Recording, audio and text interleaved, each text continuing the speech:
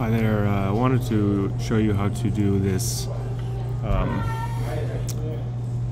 to make a SOAP request with Postman, um, I'm following this Postman's uh, blog here.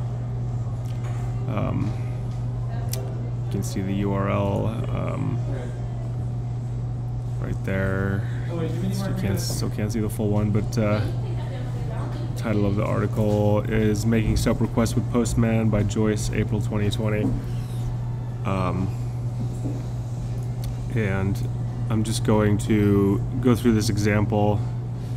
Um, so I'll go to Postman here and just open a new tab. And so what we're going to do is um, we're going to have our request, we're going to set it to post. And we're going to go and grab this URL that we're going to use and paste it in there.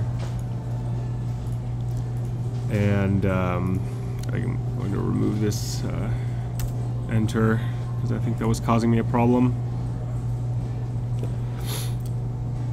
um, you can see by the little the little um,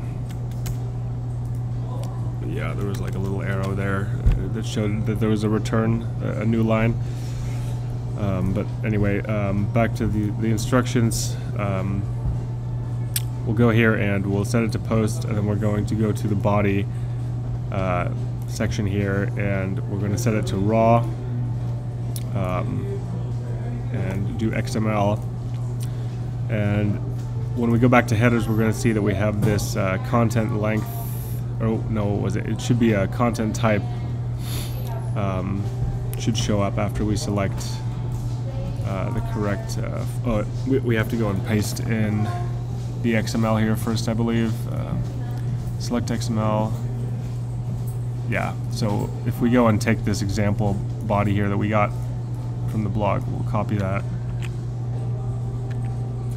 Um, paste it in. And uh, now when we go back to headers we have the content content type is uh, added for us automatically. Um, for this particular example we're going to make a new key um, oops uh, override something there.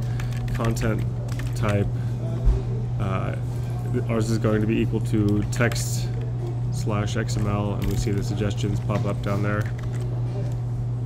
Messed up there. Okay.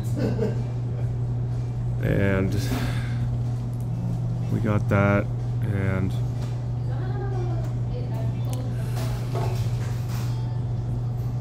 um, it's going to this this la late last one that we added is going to override the auto added one which we can see if we hover over this. It says this is a duplicate header and will be overridden.